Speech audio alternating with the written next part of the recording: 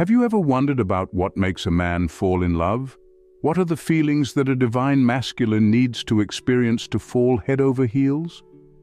Love, as we know, is an intricate, beautiful, yet often puzzling emotion. It's a dance between two hearts, a symphony of feelings that can lift us to the peak of joy or plunge us into the abyss of despair. And when it comes to understanding the divine masculine, the dance becomes even more complex.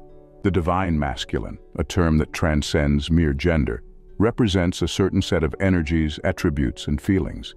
It's about strength, but also vulnerability. It's about leadership, but also partnership. It's about desire, but also respect. So, what exactly does a divine masculine need to feel to truly fall in love? Let's delve into this fascinating topic and discover the seven important things a divine masculine needs to feel to fall in love. The first feeling on our list is respect. Respect is the foundation of any relationship. Let's take a moment to delve into this concept. Respect, in its simplest form, is a recognition of another's value.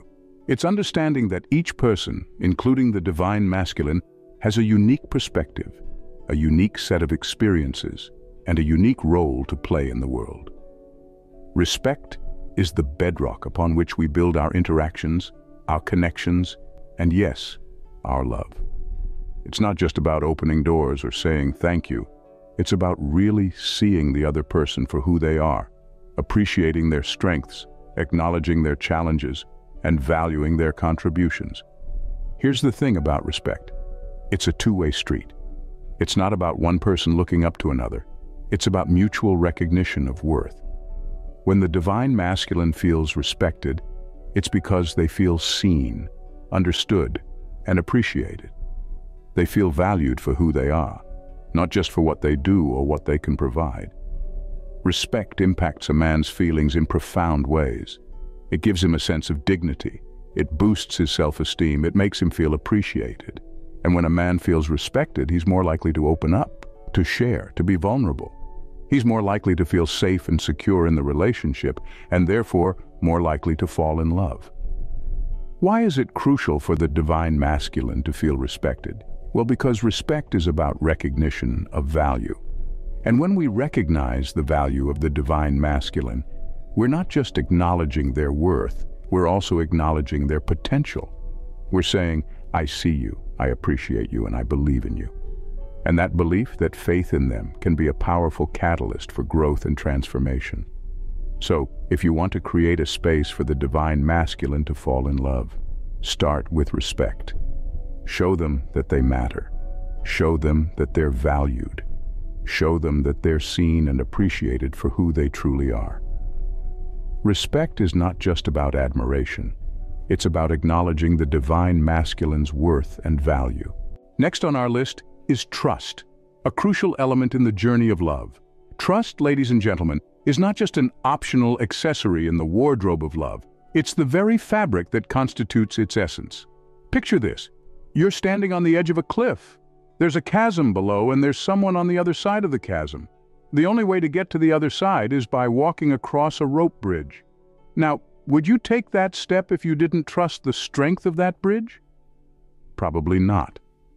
This is how trust functions in a relationship. It's the bridge that connects two hearts, and without it, the journey of love becomes impossible. Trust is a beautiful thing. It's the silent promise that says, I'm here for you no matter what. It's the reassurance that no matter how stormy the seas get, you won't abandon ship. It's the conviction that even in the darkest of times, there's a hand you can reach out to, a heart that understands, and a soul that resonates with yours. For the divine masculine, trust is an absolute necessity. It's a form of respect, a testament to his character, and a reflection of his integrity. When a man feels trusted, it's like a nod of approval to his actions, his decisions, and his beliefs. It reinforces his self-esteem and boosts his confidence. It makes him feel valued and cherished. But trust isn't given, it's earned and it's maintained. It's a delicate balance that needs constant tending. It's like a plant that needs to be watered, nurtured and cared for, or else it withers and dies. And once broken, it's not easily repaired. It leaves a scar that serves as a constant reminder of the pain it once inflicted. That's why it's paramount to build and maintain trust in a relationship. It's not just about saying, I trust you. It's about showing it through actions, through consistency, through honesty, and through respect. Trust is the bedrock that allows love to grow and flourish. It's the solid foundation upon which the edifice of love is built. Without trust, love is but a hollow shell devoid of depth and substance. The third feeling that a divine masculine needs to feel is admiration. Now let's delve into this. Admiration is a potent catalyst in relationships, especially for the divine masculine. It's more than just a compliment or a pat on the back. It's a profound appreciation that reaches into the core of who they are. Admiration, in its essence, is about recognizing the divine masculine's qualities and achievements and expressing a sincere appreciation for them. It's about seeing the unique strengths they bring to the table and acknowledging them. It's about showing them that you see their efforts, their struggles, their victories, and their growth. When the divine masculine feels admired, it's not just their ego that gets a boost. Their confidence grows, their self-esteem rises, and they feel valued. This can have a profound impact on how they perceive themselves and their relationship. It can make them feel seen, appreciated, and loved. It can inspire them to be the best version of themselves, not just for their own sake, but for the relationship as well. However, it's important to remember that admiration should be genuine. It's not about false flattery or empty compliments. It's about seeing the real, authentic person beneath the surface and appreciating them for who they are. It's about recognizing their strengths, their passions, their values, and their character. It's about acknowledging the effort they put into their personal growth, their work, their relationships, and their life. It's also vital to express this admiration. It's not enough to simply feel it. You need to communicate it. Let them know that you see them, that you appreciate them, that you admire them. This can be done through words, actions, gestures, or even just a look. The key is to make them feel seen, appreciated, and valued. Remember, Admiration is not about putting someone on a pedestal or idolizing them. It's about recognizing and appreciating the divine masculine's qualities and achievements. It's about showing them that they are valued, respected, and loved. It's about making them feel seen, appreciated, and admired. Admiration is more than just flattery. It's about recognizing and appreciating the divine masculine's qualities and achievements. So let's continue our journey to understanding the divine masculine and the feelings that are key to their heart. Freedom, an often overlooked feeling, is the fourth on our list. The concept of freedom can be a bit tricky when it comes to relationships. It's not about the absence of responsibility or the license to do whatever one pleases. No, it's about the liberty to be authentic, to express oneself openly without fear of judgment or retribution. The divine masculine, in its true essence, thrives on freedom. This doesn't mean he desires to live a life devoid of commitments or attachments. Rather, it's about having the space and the liberty to express his thoughts, emotions, and desires. It's about being able to pursue his passions, his dreams, without feeling constrained or tied down. The divine masculine seeks a partner who understands and respects his need for freedom someone who doesn't attempt to control or change him, but rather encourages him to be his authentic self. A partner who provides a safe space for him to express his thoughts and feelings, to explore, to grow, and ultimately to love. Freedom in a relationship is akin to oxygen for the divine masculine. It's what fuels his spirit, his creativity, his passion. It's what allows him to connect deeply with his partner to build a bond that's based on mutual respect, understanding, and love. It's what allows him to fall in love deeply and truly. But remember, freedom in a relationship is a two-way street. It's not just about the divine masculine's need for freedom, but also about the divine feminine's need for the same. It's about creating a relationship where both partners feel free to be themselves, to express their individuality, while also being deeply connected and committed to each other. Freedom, therefore, is not about lack of commitment. It's not about living a life unfettered by responsibilities or obligations. It's about the ability to be oneself in a relationship. It's about having the space to explore, to grow, to love, and ultimately, to be loved. Freedom is not about lack of commitment. It's about the ability to be oneself in a relationship. Next up is affection, a feeling that is fundamental to love. Affection, dear listeners, is the key that unlocks the door to the heart of the divine masculine. It's more than the simple act of holding hands or a tender kiss. Affection is the language of love, spoken in a thousand different dialects. It's the warmth in a smile, the comfort in a hug, the tenderness in a touch. It's the small everyday gestures that say, I see you, I appreciate you, I love you, without uttering a single word. You see, for the divine masculine, affection isn't just about physical touch. It's about feeling valued, cherished, and loved. It's about the emotional connection that binds two people together, the invisible thread of love that weaves its way through their hearts. It's the soft whisper of love that echoes in the silence, the gentle caress of understanding that soothes the soul. When the divine masculine feels affection, he feels seen, he feels acknowledged, he feels loved. And this feeling of love, of being loved, is what draws him in, what makes him fall in love. It's like a magnet, pulling him closer, drawing him deeper into the heart of the relationship. It's the spark that ignites the flame of love, the fuel that keeps it burning. But affection isn't just about what you give. It's also about what you receive. The divine masculine needs to feel that his affection is reciprocated, that his love is returned. He needs to know that his feelings are valued, that his love is cherished. He needs to feel that he is not alone in his love, that he is not the only one pouring his heart into the relationship. In essence, affection is the beating heart of a relationship. It's the lifeblood that sustains it, the oxygen that breathes life into it. Without affection, a relationship is like a body without a heart, a soul without a spirit, a song without a melody. It's a ship without a sail, drifting aimlessly in the sea of love.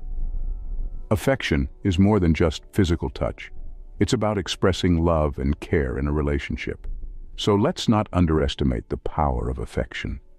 It's the key to the heart of the divine masculine, the bridge that connects two souls, the thread that weaves a tapestry of love. The sixth feeling on our list is validation, a crucial aspect of emotional well-being. When we talk about validation, we're not just talking about a simple nod of agreement. Validation is a deep-reaching process, an understanding and an acknowledgement of someone's feelings and experiences. It's about showing the other person that their feelings matter, that they are seen and heard, in the context of the divine masculine, validation plays a pivotal role. Consider this, the divine masculine, like all of us, carries a multitude of feelings, thoughts, and experiences. These elements of their identity are not just passing ephemera, they are an integral part of their being. They shape their worldview, their self-perception, and their interactions with others. When these feelings and experiences are validated, the divine masculine feels acknowledged, understood, and valued.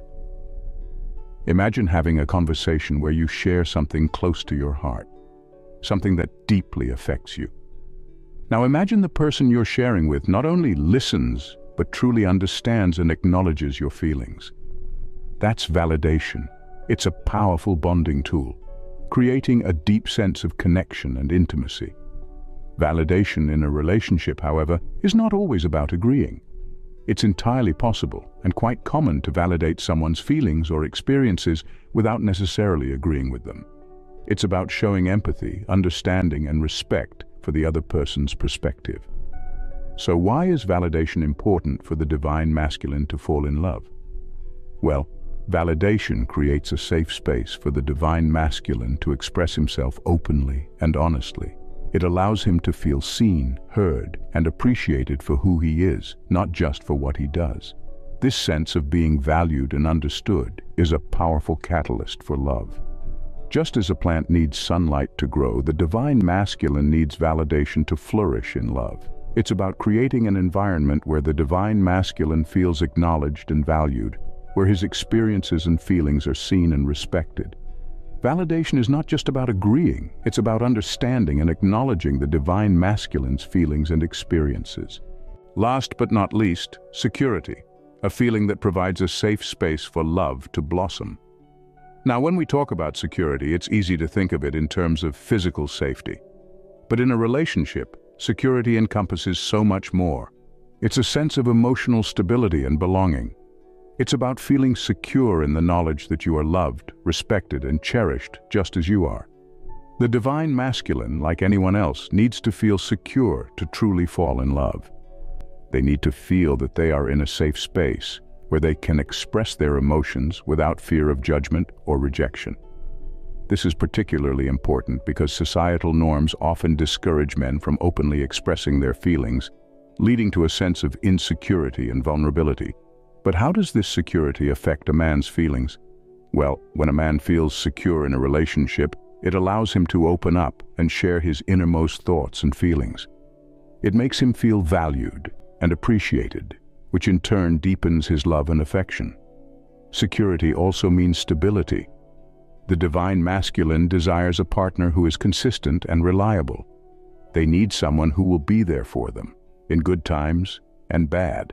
This consistency provides a sense of security that is crucial for the development of deep, lasting love. But remember, security is a two-way street. It's not just about making the divine masculine feel secure. It's also about you feeling secure in the relationship. It's about creating a mutual sense of safety and trust where both parties feel loved and valued. So how can you provide this sense of security? By being open, honest, and consistent. By showing respect and understanding. By creating an environment where both of you can express your feelings without fear. By being there for each other through thick and thin.